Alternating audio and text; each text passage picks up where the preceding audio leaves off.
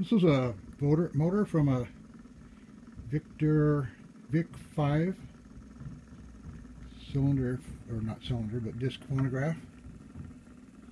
I put a new spring. I put a new spring in this spring barrel here. This one was broken. These two were the original ones that were in there. They still got a little bit of life left in them, so I went ahead and left them in there. In their place. It runs really good. I'm very happy the way it turned out.